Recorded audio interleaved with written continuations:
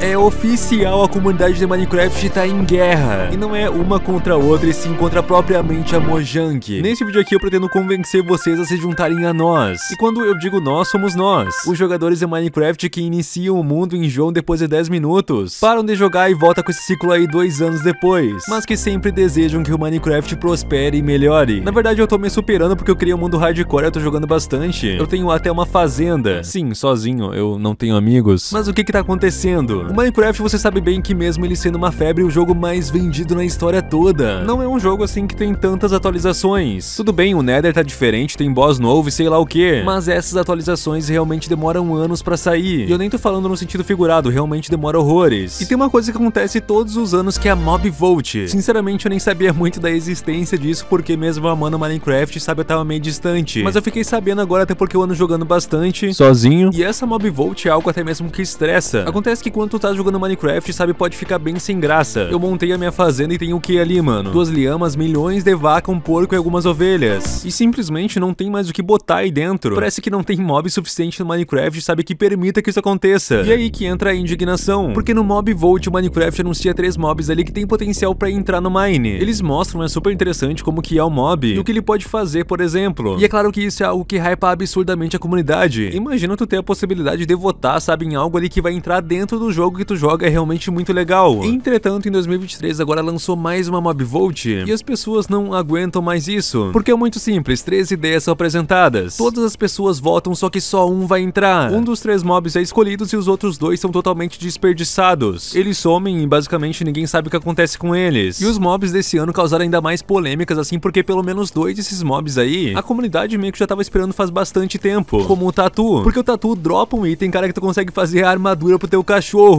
Pois é, mano, armadura pro lobo, meu Deus. Faz quanto tempo que a gente sonha com isso? Tem zilhões de mods no Mine, sabe que tem isso, mas no Mine não tem por algum motivo. E agora pode ter. Entretanto, vem o segundo mob que também é bem importante, o caranguejo, que ele dropa um item assim que te permite construir mais longe. Por exemplo, se antes tu podia construir com três blocos de distância, ou seja lá quantos são, com a garra do caranguejo ali tu consegue construir bem mais longe. E isso é algo que também já tinha mod, sabe? As pessoas estavam esperando faz bastante tempo. Ajuda muito na construção, é algo que tu vai usar, sabe? É essencial. E então começou agora uma revolução. A gente não quer escolher entre esses mobs aí, escolher só um deles. Se a gente simplesmente pode ter todos. A comunidade começou um abaixo assinado, já tá com mais de 380 mil assinaturas quando eu tô gravando esse vídeo aqui. Mas será que isso aí vai adiantar alguma coisa mesmo?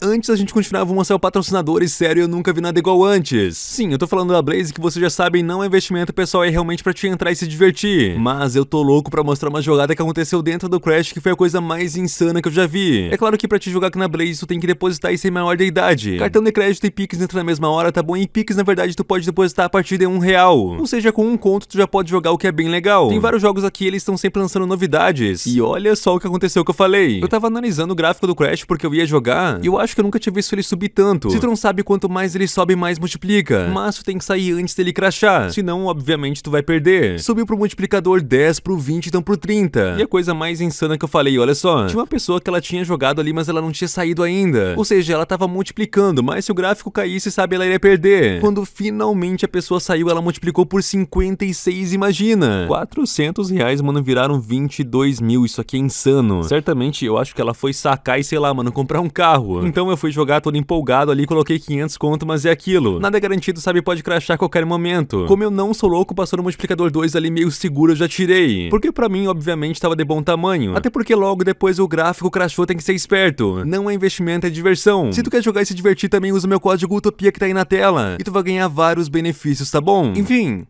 no passado, que eu não tava muito por dentro, como eu já falei, já existiram muitas outras mob volts. E eu olhando pro passado agora, vendo o que eu não vivi, eu percebi o tanto de coisas incríveis que eu poderia ter no meu joguinho, cara, mas eu não tenho. Por exemplo, teve um ano que tinha dois mobs bem interessantes, sabe? Um que era esse mago aqui incrível que ia ficar nas montanhas de gelo. E teve a maldita votação três mobs no mesmo ano. O mago se chamava Ice Logger, essa vaca aqui também seria bem interessante. Mas aí é que tá, o YouTuber Dream na época que ele era absurdamente influente, coisa que ele não é muito hoje em dia, ele decidiu trollar o mob Volt. E fez todo mundo votar nessa Lula aqui, cara, que brilha. E sabe o que que essa Lula que brilha aqui faz, mano? Então, eu acho que nada, sei lá, brilha. O Minecraft, na verdade, a gente perdeu a oportunidade de ter essa vaca linda. Ou o narigudo doidão aqui, gente, pra ter uma Lula que brilha. Até mesmo nesse tempo, se eu tivesse mais ativo, sabe, eu teria me perguntado, por que que a gente não pode ter os três? A comunidade, eu não sei se não pensava muito nisso, ou simplesmente não ficava tão indignada. Porque agora sim ela ficou muito indignada. O abaixo assinado disso aqui, olha só. Acabe com o descarte de grandes ideias. O Minecraft ganhou popularidade devido às suas atualizações regulares e grandes quantidades de conteúdo. Isso já era em 2011, agora Minecraft não é apenas o jogo mais vendido já lançado, mas tem o apoio financeiro da enorme corporação Microsoft. Apesar disso, os jogadores recebem apenas uma pequena atualização de conteúdo a cada ano. Sério, mano, imagina só isso, sabe? O jogo mais vendido de todos. E ainda por cima, a fudendo Microsoft comprou a empresa. Era pra esse jogo aí, eu não sei, tá em 2050, com 300 tipos de mob coisa aparecendo na tua tela a cada segundo. O Mob Volt provoca parte desse conteúdo apenas um terço do que foi provocado, diminuindo ainda mais o conteúdo da atualização. A tradução tá meio ruim, mas eu acho que vocês entenderam. Então invocamos Mojang. Pare o Mob Volt. Nós dê 3 mobs por ano. Se modders não pagos conseguem adicionar seus mobs ao jogo alguns dias depois de serem anunciados, o mínimo que você pode fazer é acompanhar a frequência de conteúdo que tornou o Minecraft famoso. Isso aí vai parecer meio ridículo, sabe? Mas o que eles disseram é real. Geralmente um ou dois dias assim depois que os mobs são anunciados, pessoas que fazem mod pro Minecraft ali postam, cara, mods desses mobs novos aí. Se tu procurar no YouTube agora, tu consegue fazer o download, mano, e jogar com tatu, com caranguejo, mano, com golfinho, com qualquer um. Não é de hoje que a gente sabe que o Minecraft, na verdade, sabe, vive muito por conta dos mods. Criar um modpack pra jogar geralmente é muito mais divertido do que jogar o Vanilla, porque tem muito mais coisas adicionadas. Mas daí entra os argumentos, né, que pra eles adicionarem tal mob, eles têm que pensar em todo o desenvolvimento. Pensar que o Minecraft também não é só pra computador, sabe, mais pra console e celular. Eles têm que pensar também que vai fazer sentido no futuro. Mas mesmo assim, se eles já anunciaram esses três mobs aí, que um deles pode entrar no jogo, é porque certamente todos eles fazem sentido. E provavelmente todos também já estão minimamente feitos, sabe? Eles não vão começar a fazer agora. Eles já têm que fazer os mobs antes, pra prever todas as coisas dentro do jogo. Então eles vão simplesmente pegar essas duas ideias agora, sabe? Jogar fora. Tem um mod no Minecraft que é muito famoso mesmo, que é o Aether. Basicamente esse mod aí cria o céu no Minecraft, que na verdade é incrível.